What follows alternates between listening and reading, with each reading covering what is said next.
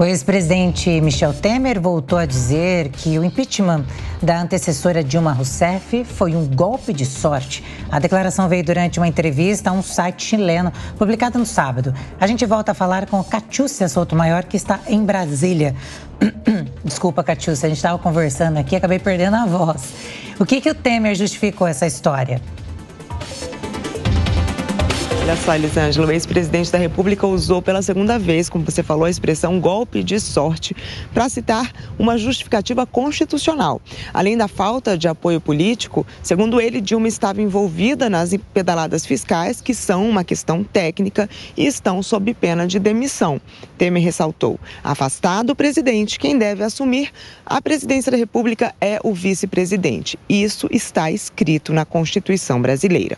Michel Temer reforçou também que a apesar do comentário feito em 2016 pelo então deputado Gabriel Boric, atual presidente do, do Chile, nas redes sociais, que chamou o processo de impeachment de Dilma Rousseff de um golpe disfarçado de institucional, ele não sabe se com os problemas atuais de Boric, de derrotas legislativas e impopularidade, impopularidade, se o presidente chileno hoje teria essa mesma opinião. Temer também falou sobre a irrelevância dos conceitos de esquerda e de direita feita para o povo que passa fome, desde que quem estiver no poder traga resultados. E comentou também a atuação no cenário internacional, tanto de Lula quanto de Bolsonaro no executivo. Sobre o ex-presidente, ele disse que é, Bolsonaro não multilateralizou a política externa, o que, segundo ele, não foi útil para o Brasil. Ao falar de Lula, ele declarou que vê um esforço saudável e positivo, já que é preciso se dar bem com todos os países, porque as relações não são apenas políticas, mas também comerciais. Entretanto, Temer disse também preocupado com as declarações de Lula sobre a criação de narrativas contra a Venezuela, já que, segundo ele, uma coisa seria a relação institucional, que deve ser preservada, e outra é aprovar um regime político que viola ou fere a democracia. Vale lembrar que, em maio, o presidente Lula, que recebeu Nicolás Maduro com honras de chefe de Estado aqui em Brasília, disse duas vezes que estava sendo criada uma narrativa contra a ditadura da Venezuela, o que foi contestado contestado pela direita e até pela esquerda, caso inclusive do presidente do Chile, Gabriel Boric, que declarou que a violação de direitos humanos na Venezuela não é uma narrativa, mas uma séria realidade. Eu volto com vocês. Muito obrigada pelas informações. Cristiano Vilela, nós é, sempre ainda há, né, todas as reuniões petistas, né, o discurso do PT é de que fato houve um golpe lá em 2016 para a retirada da presidência Dilma Rousseff do poder e desta vez Temer fala em golpe de sorte, Vilela.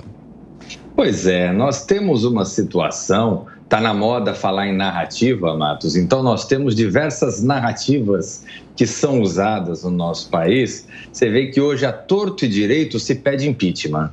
O, o, o, presidente Lula ele já tem uma dezena de pedidos de impeachment do seu cargo, nós temos pedido de impeachment de ministros do Supremo, nós temos pedido de impeachment do ex, tínhamos na época do ex-presidente Bolsonaro, do ex-presidente Temer, da ex-presidente Dilma, do ex-presidente Lula, do ex-presidente Fernando Henrique e assim vai indo. Eu sou um crítico absoluto desse tipo de prática, que, ao meu ver, acaba gerando distúrbios institucionais muito ruins. Eu vejo que o importante é mantermos a estabilidade institucional. Agora, é relevante destacar que nós vivemos dentro de uma realidade onde é bonito falar do adversário, mas é muito ruim quando falam da gente. Então, é, pedir o impeachment é, desarrazoado do adversário é uma questão política. O impeachment do seu é, aliado é golpe. Esse tipo de narrativa é muito ruim. Por isso que o importante é ver o que está na regra do jogo. Seguiu a regra do jogo? Seguiu. Então não é golpe. Ah, não, aqui houve um desrespeito à regra do jogo. Aí é golpe. Nesse caso envolvendo a presidente Dilma, foi cumprido totalmente a regra do jogo, inclusive com participação dos poderes legislativo e judiciário. Nesse sentido, você pode espernear politicamente, mas juridicamente foi feito como manda o figurino, não se pode falar num golpe.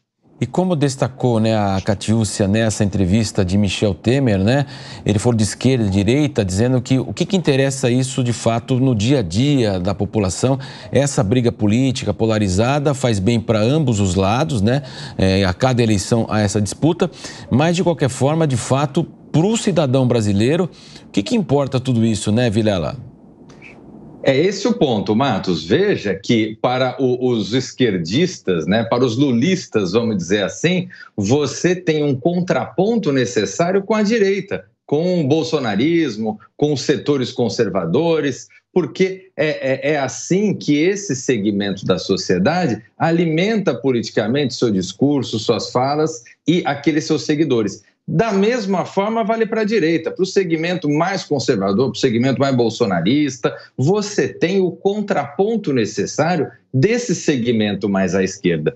E com isso você vai tendo um, uma dualidade muito expressiva, muito marcante no jogo político, mas que não leva a consensos. E a lógica estrutural da nossa democracia, a lógica como se dá a divisão de poderes, como se dá a força do legislativo, ela é feita para que haja uma construção de consensos. Sem a construção de consensos, o país se paralisa. Mas, infelizmente, nos últimos anos, o que temos visto é um dissenso cada vez maior, onde você tem um lado governando e o outro lado apedrejando, e que depois há uma inversão de papéis, mas continua havendo a mesma prática: um governando e um apedrejando. Quem perde com isso é o cidadão e o país de uma forma geral.